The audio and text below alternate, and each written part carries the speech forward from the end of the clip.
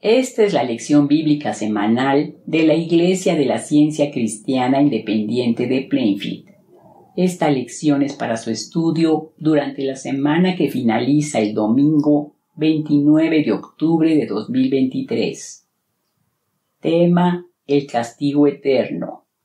Texto de oro, Proverbios. No menospreciéis, hijo mío, el castigo de Jehová, ni te fatigues de su corrección porque Jehová al que ama castiga, como el Padre al Hijo a quien quiere.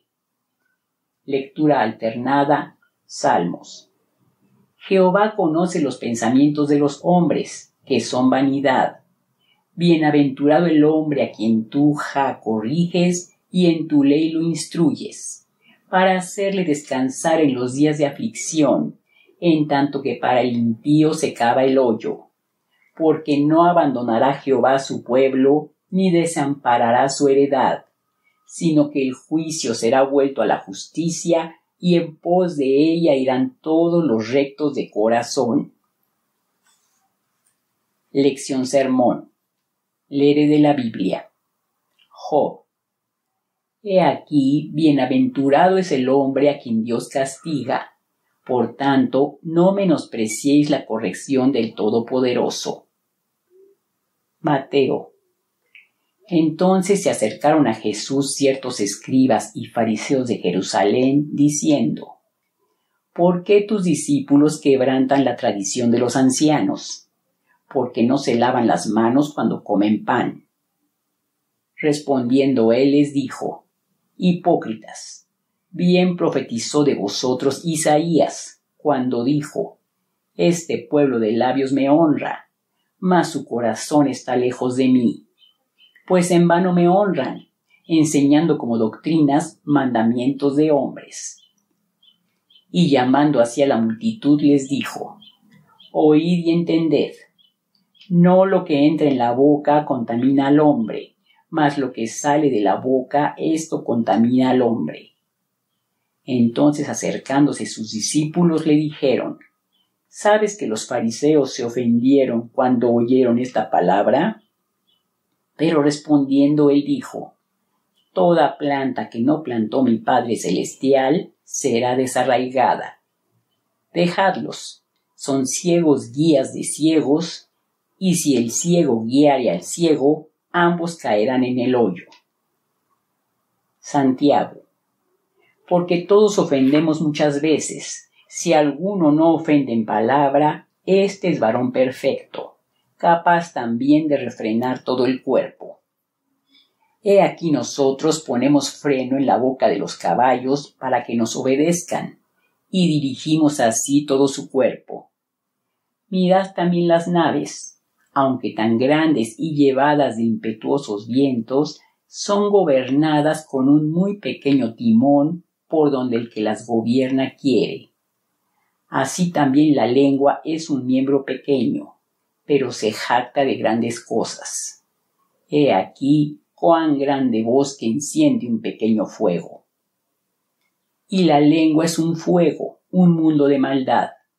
La lengua está puesta entre nuestros miembros y contamina todo el cuerpo, e inflama la rueda de la creación, y ella misma es inflamada por el infierno.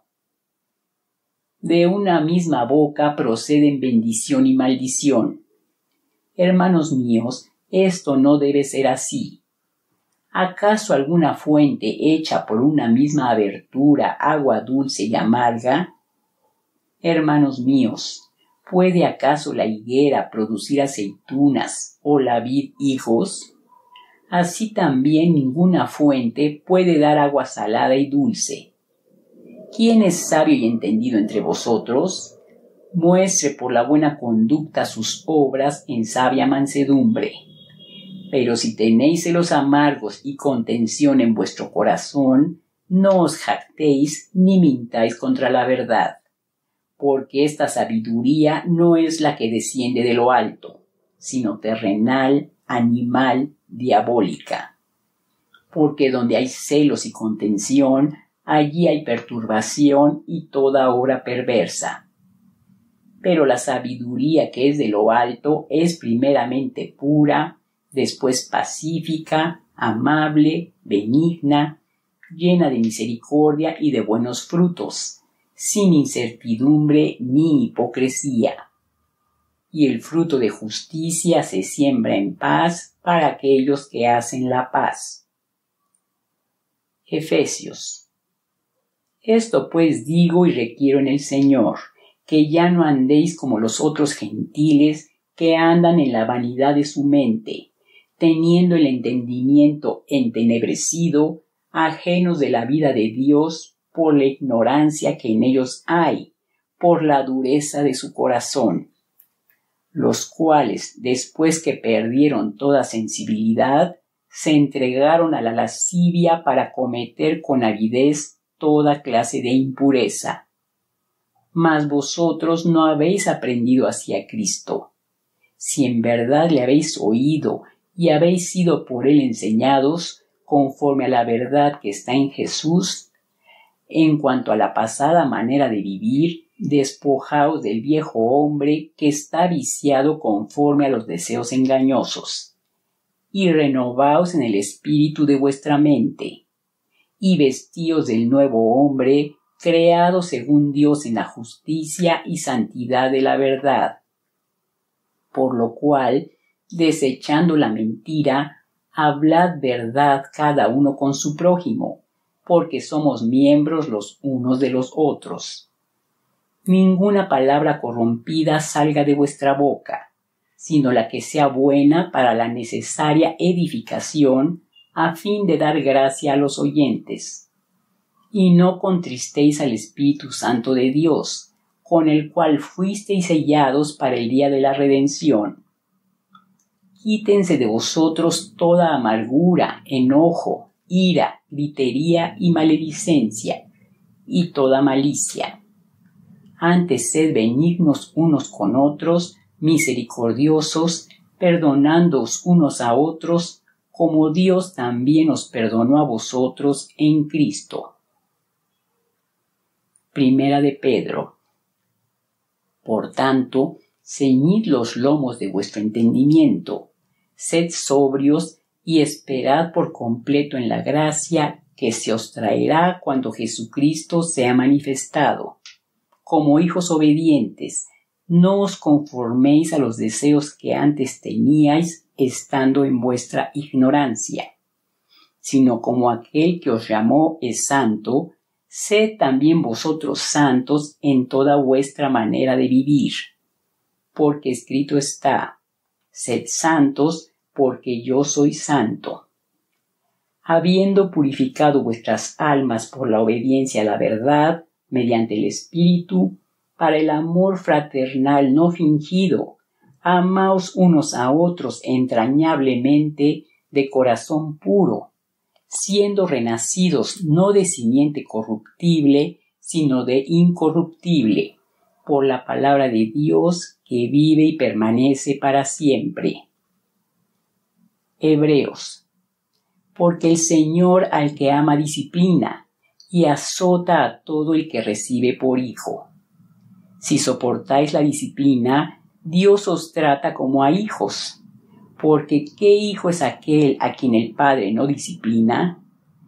Es verdad que ninguna disciplina al presente parece ser causa de gozo, sino de tristeza, pero después da fruto apacible de justicia a los que en ella han sido ejercitados. Ahora leeré los pasajes correlativos del libro de texto de la ciencia cristiana, Ciencia y Salud con clave de las Escrituras por Mary Baker Eddy. En la ciencia divina el hombre es la imagen verdadera de Dios. La naturaleza divina se expresó de la mejor manera en Cristo Jesús quien reflejó más exactamente a Dios a los mortales y elevó sus vidas a un nivel más alto que el que les concedían sus pobres modelos de pensamiento, pensamientos que presentaban al hombre como caído, enfermo, pecador y mortal. La comprensión semejante a la de Cristo del ser científico y de la curación divina incluye un principio perfecto y una idea perfecta, Dios perfecto y hombre perfecto, como base del pensamiento y de la demostración. Si el hombre fue antes perfecto, pero ha perdido ahora su perfección, entonces los mortales nunca han visto en el hombre la imagen refleja de Dios. La imagen perdida no es imagen. La semejanza verdadera no puede perderse al reflejar lo divino. Comprendiendo esto, Jesús dijo, Sed pues vosotros perfectos, como vuestro Padre que está en los cielos es perfecto puesto que Dios es todo, no hay lugar para su desemejanza. Solo Dios el Espíritu lo creó todo y lo llamó bueno. Por tanto, el mal, siendo contrario al bien, es irreal y no puede ser el producto de Dios. El pecador no puede sentirse alentado por el hecho de que la ciencia demuestra la irrealidad del mal, porque el pecador quisiera hacer una realidad del pecado, quisiera hacer real lo que es irreal, acumulando así ira para el día de la ira. Se hace cómplice de una conspiración contra sí mismo, contra su propio despertar, que lo haría darse cuenta de la terrible irrealidad que lo ha engañado. Solo quienes se arrepienten del pecado y abandonan lo irreal pueden comprender cabalmente la irrealidad del mal. El amor y la verdad liberan, pero el mal y el error conducen al cautiverio. El pecador crea su propio infierno obrando mal, y el santo su propio cielo obrando bien. Los mortales deben seguir las palabras de Jesús y sus demostraciones las cuales dominan a la carne. La mente perfecta e infinita entronizada es el cielo. Las creencias malas que se originan en los mortales son el infierno. El designio del amor es reformar al pecador. Si el castigo del pecador aquí en la tierra no ha sido suficiente para reformarle, el cielo del hombre bueno sería un infierno para el pecador. Quienes no conocen por experiencia la pureza y el afecto, nunca podrán hallar felicidad en la bendita compañía de la verdad y el amor simplemente por la traslación a otra esfera. La ciencia divina revela la necesidad de sufrimiento suficiente ya sea antes o después de la muerte, para extinguir el amor al pecado. Condonar la pena correspondiente al pecado es como si la verdad estuviera perdonando al error. Escapar del castigo no está de acuerdo con el gobierno de Dios, puesto que la justicia es la sierva de la misericordia.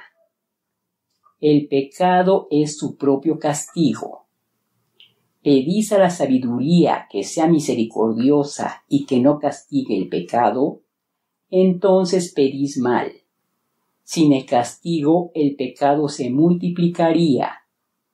La oración de Jesús, perdónanos nuestras deudas, especificó también las condiciones del perdón.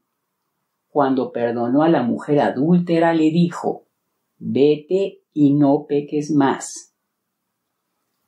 A veces un magistrado condona la pena, pero eso puede que no sea un beneficio moral para el criminal y a lo sumo solo salva al criminal de una clase de castigo. La ley moral, que tiene el derecho de absolver o condenar, siempre exige restitución antes que los mortales puedan subir más arriba. La violación de la ley trae consigo la pena para obligarnos a ese progreso. El error básico es la mente mortal. El odio inflama las propensiones bestiales. La complacencia en móviles y propósitos malos transforma a cualquier hombre que sea superior al tipo más bajo de humanidad en víctima de sufrimientos desesperados. La ciencia cristiana ordena al hombre a dominar las propensiones, refrenar el odio con la bondad, vencer la lujuria con la castidad, la venganza con el amor y superar el engaño con la honradez. Sofocad esos errores en sus primeras etapas si no queréis albergar a un ejército de conspiradores contra la salud, la felicidad y el buen éxito. Ellos os entregarán al juez el hábito de la verdad contra el error. El juez os entregará la justicia y la sentencia de la ley moral fallará en contra de la mente y el cuerpo mortales. Ambos serán maniatados hasta que se pague el último cuadrante, hasta que saldéis vuestra cuenta con Dios. Todo lo que el hombre sembrare, eso también segará. El hombre bueno puede vencer finalmente su temor al pecado esta es la necesidad del pecado, destruirse a sí mismo. El hombre inmortal demuestra el gobierno de Dios, el bien, en el cual no existe facultad para pecar. Mejor fuera estar expuesto a todas las plagas de la tierra que sufrir los efectos cumulativos de una conciencia llena de remordimientos el estar consciente continuamente de que se está haciendo el mal tiende a destruir la habilidad de hacer el bien. Si el pecado no se deplora y no disminuye, entonces os va precipitando a la ruida física y moral.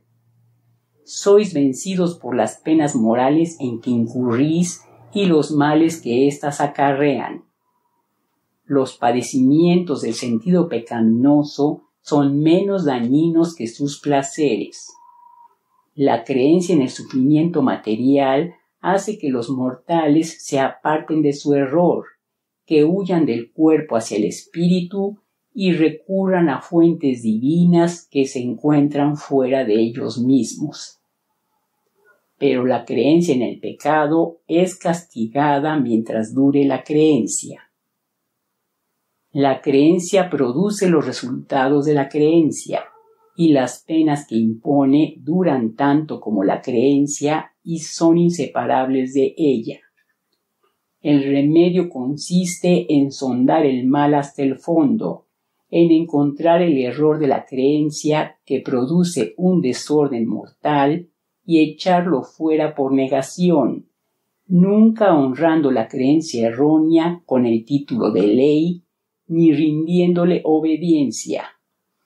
La verdad, la vida y el amor son las únicas exigencias legítimas y eternas que se le hacen al hombre, y son legisladores espirituales, que obligan a obediencia por medio de estatutos divinos. Los cristianos tienen que tomar las armas contra el error en casa y fuera de ella, tienen que combatir el pecado en sí mismos y en los demás, y continuar esta milicia hasta que hayan acabado su carrera. Si guardan la fe, tendrán la corona de regocijo. Finalmente, tanto el pecado como el sufrimiento caerán a los pies del amor eterno. Ahora leeré los deberes diarios por Mary Baker Eddy. La oración diaria. Será deber de cada miembro de esta iglesia orar diariamente. Venga tu reino. Haz que el reino de la verdad, la vida y el amor divino se establezca en mí y quita de mí todo pecado y que tu palabra fecunde los afectos de toda la humanidad y los gobierne.